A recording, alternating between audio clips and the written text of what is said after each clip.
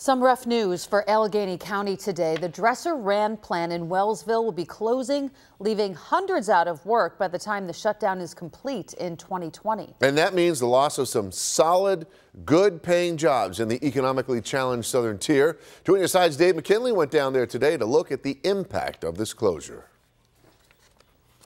What preceded the announcement was the sale of a division of this company by its parent company to another firm.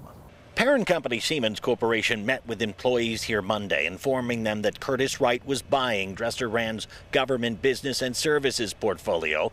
What that means is that the 250 who work here making high-speed engines and turbines for the military and the power industry will be out of work as the plant gradually shuts down and jobs are moved elsewhere. Siemens says Curtiss-Wright will take on 50 of the workers here, but that's only one in five of those employed in the work offered them will be out of state when the jobs are transitioned. It's going to have a big impact for sure. Brian Perkins heads the Wellsville Chamber of Commerce and notes manufacturing has been going on in one form or another at the plant for over a century, providing good paying jobs in Allegany County's largest municipality. It's going to be a challenge, uh, but it's something that this area has, you know, in some ways we've dealt with challenges before, maybe not this big.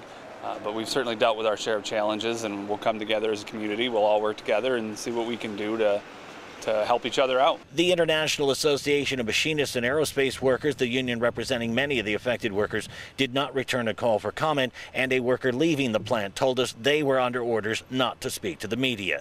Dresser Rand's operations in the southern tier communities of Olean and Painted Post are not expected to be affected by this announcement. The plant shutdown will not occur right away. It'll be phased in over the next two years. In Wellsville, Dave McKinley, Channel 2 News.